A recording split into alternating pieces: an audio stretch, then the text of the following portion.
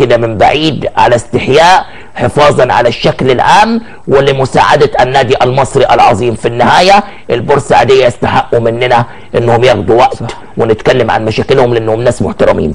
خلينا نروح لنادي الزمالك وملف نادي الزمالك قبل ما نختم. أستاذ علاء حمام السلام عليكم. وعليكم السلام أستاذ عبد الناصر. تحياتي لحضرتك والكابتن حماده صدقي والكابتن عماد درباله وجميع السادة المشاهدين. آه أبو الزغالين ماذا لديك؟ آه طبعا حضرتك النهارده عرضت واستفدت في مسألة إلغاء آه الجمعية العمومية الطريقة اللي كانت هتعقد في نادي الزمالك يومي الخميس والجمعة. إحنا هنقول رد الفعل اللي حدث بعد آه قرار الإلغاء وإن نادي الزمالك أجبر على على الإلغاء. ده قرار مش برغبة مسؤول الزمالك. هم أجبروا على الإلغاء لأن مفيش جمعية عمومية بتتعمل بدون إشراف قضائي اللي بيرسل الخطاب لوزارة العدل هي اللجنة الاولمبيه المصرية. واللجنه الاولمبيه المصرية لم تفصل في مسألة انعقاد الجمعيه العمومية نادي الزمالك. اذا الزمالك ما عندوش إشراف قضائي.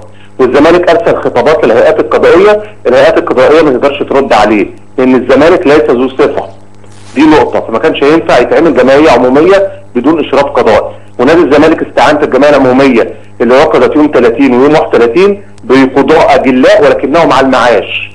ووزارة العدل أصدرت بيان وقالت إن هي ما أشرفتش على هذه الجمعية وليس لها علاقة بيها.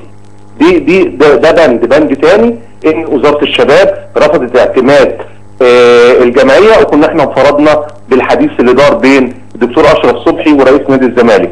كمان مديرية شباب الرياضه بالجيزة ما تقدرش تتحرك من مكانها أو تحرك أي موظف أو أي مسؤول إنه يروح نادي الزمالك ويشارك في الجمعية العمومية بدون قرار من الوزارة فده برضه بند مسؤول الزمالك على إلغاء الجمعية العمومية اللي كان مقرر عقدها يوم الخميس ويوم الجمعة بجانب طبعا شكوى المحاسب هاني العتال نائب رئيس النادي واللي تمت فيها عدد من البنود والإجراءات اللي بتثبت بطلان انعقاد الجمعيه. تمام.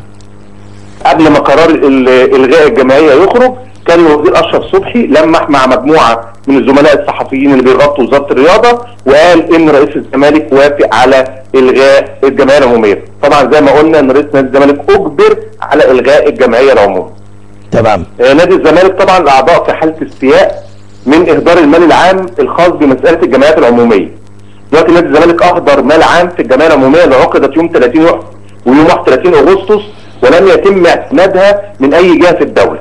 تمام برضه أهدر مال عام على الجمعية اللي كان ناوي يعقدها يوم الخميس ويوم الجمعة وعمل إعلانات في صحف قومية وعلق كشوف بأسماء الأعضاء واستعد للجمعية العمومية وأنفق نفقات مالية تكبدها النادي ومع ذلك ما تمش عقد جمعية عمومية فطبعا الأعضاء في حالة استياء كبيرة جدا لأن بيقولوا بدل النفقات دي ما تتصرف ومفيش جمعيات عمومية لا الدولة بتعتمدها ولا بتتم النفقات دي تتحول لفرع النادي 6 أكتوبر اللي ما تمش فيه بناء أي شيء غير وضع حجر الأساس فقط ده انطباع السادة الأعضاء.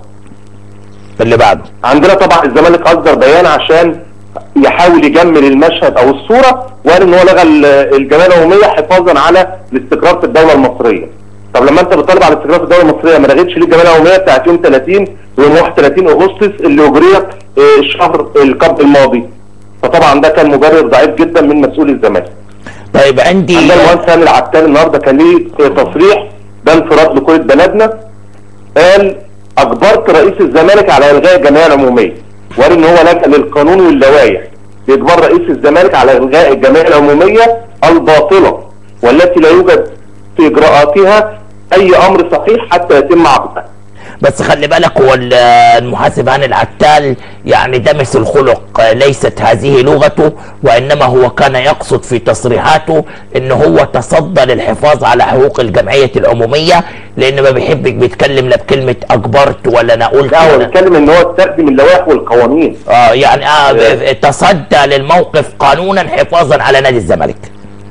تمام عندنا آه بقى أخبار آه الفريق الأول لكرة القدم نادي الزمالك آه الفريق النهارده الفريق عفوا هيتدرب إن شاء الله يوم الخميس ده أول تدريب هيرجع يستعد لمباراة الإنتاج اللي هتقام يوم الثلاثاء يوم الثلاثاء المقبل بدور ال 16 من بطولة كأس مصر على ملعب برج العرب. عندنا خبر إن الإسماعيلي بيسعى للتعاقد مع أحمد مدبولي طبعا أحمد مدبولي خرج خارج حسابات السويسري كريستيان جروسي المدير الفني.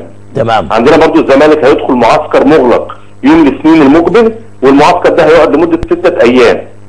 لأن الزمالك عنده مباراتين في اسكندرية مباراة الإنتاج يوم الثلاث في كأس مصر ومباراة أخرى يوم 27 مع نادي الاتحاد السكندري في في ذهاب دور البطوله ال 16 من البطولة العربية. فالمعسكر هيبقى ستة أيام استعد فيهم للمباراتين اللي هيقوم على ملعب برج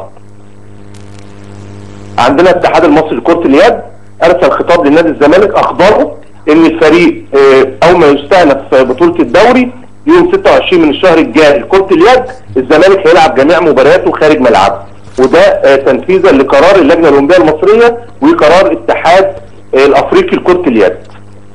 عندنا أزمة رهيبة جدا موجودة في إدارة النشاط الاجتماعي في نادي الزمالك. حضرتك طبعا اتكلمت امبارح وأشرت إليها وقلت إن تم نقل آه، 12 موظف من اتفضل. يا علاء. علاء. خط قطع. طيب ماشي هنرجع نجيبه تاني. يعني إذا ال- الزمالك آه، كابتن حمادة الانتاج الحربي الثلاثاء 27 الاتحاد آه، في آه، البطولة العربية. العربية. آه، وضع طبيعي كان يعمل معسكر هناك في اسكندرية ال- الفترة ديت بس فرقة فايقة. الزمالك. آه.